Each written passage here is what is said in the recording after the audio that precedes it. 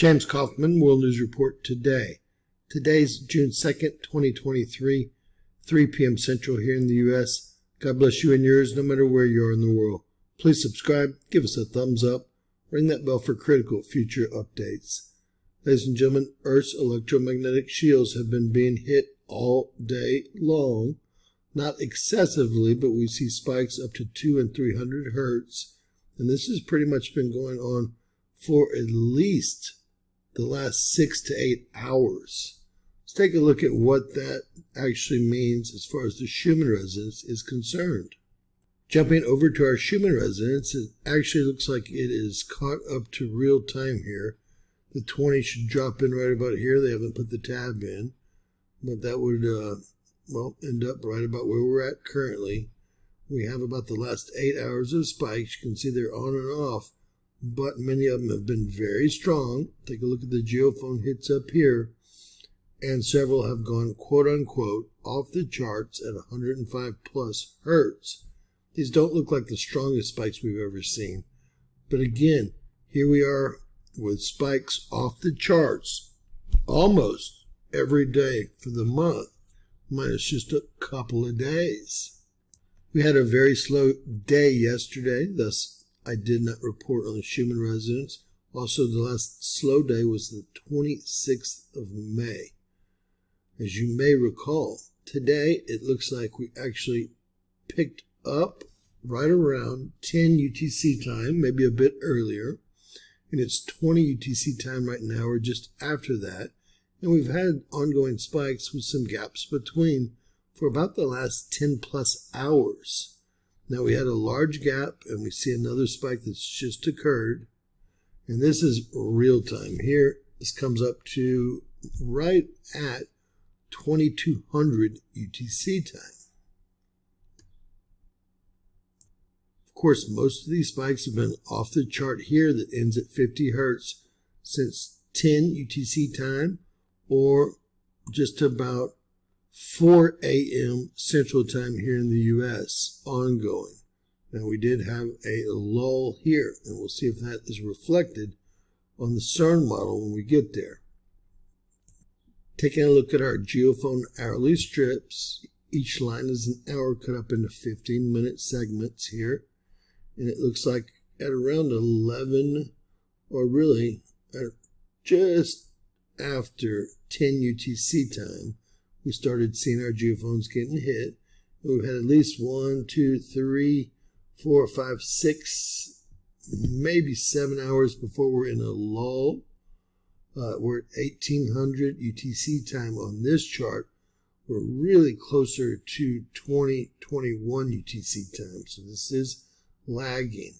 But you can see how many consecutive hours these Schumann resonance spikes have been going and you can also see that 1500 UTC time and 1600 UTC time are the most powerful spikes we had. These two lines would equate to 9 a.m. and 10 a.m. Central Time here in the U.S. this morning. Here we can see the spikes were starting at about or just before 10 UTC time, and all of our indicators show significant spiking in the Schumann resonance. Now, we have seen stronger spiking this week or in the last seven days, but these are significant and they were picked up by all of our sensitive equipment, our geophone, our ULF noise collection, our ELF noise collection, and our second SR frequency. All of them reacted in the way they should.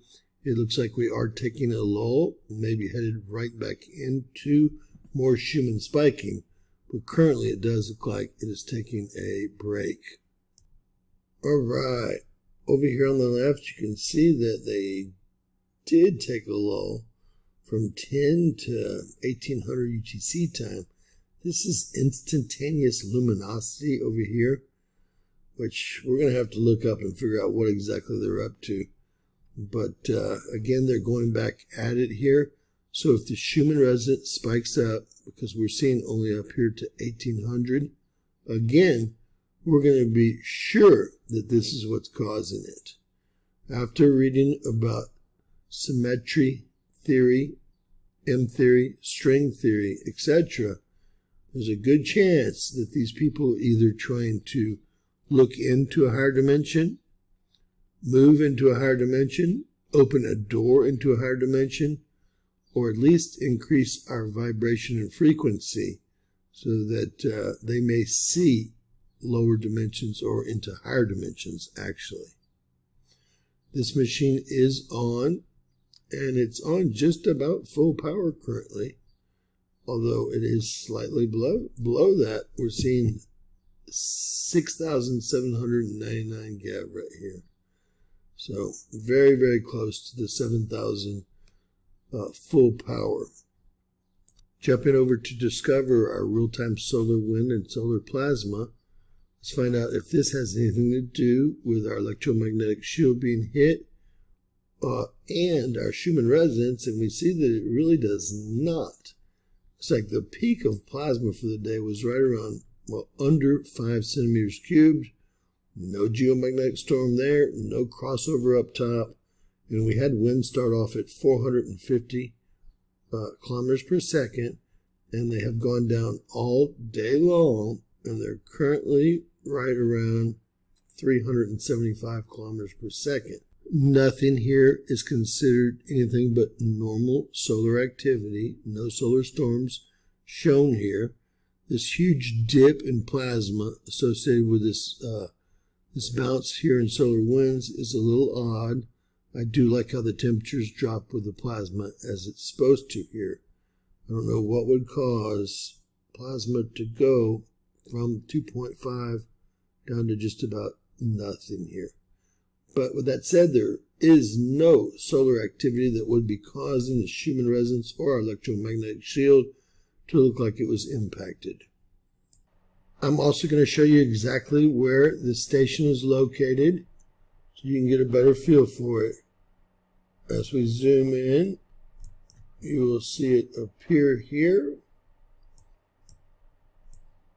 And there she blows. It's the town of Cumiana, which is where this model is located, and there's no, uh, well, there's no lightning or thunderstorms anywhere in the area. This would be hundreds of miles away, at least. So if you ever wondered where it was located, you now know. There it is right there. We will zoom in a very small town, as you can see. Now everyone can see that we had a break here from about 1900 to about 20 UTC time, uh, which is much like the luminosity over at CERN. We'll have to take a look and see if this takes off. If it does, we may have a correlation. At this time, I really have not figured this out. Please let me know if you're able to sense these spikes, how they may affect you personally, uh, the usual symptoms seem to be, uh, well, tired, maybe fog of the brain, uh, maybe vertigo, nauseous, etc. But please let me know how these spikes affect you if you sense them. That said, God bless each and every one of you guys. Share and subscribe, and always remember that anything's possible in Bizarro World.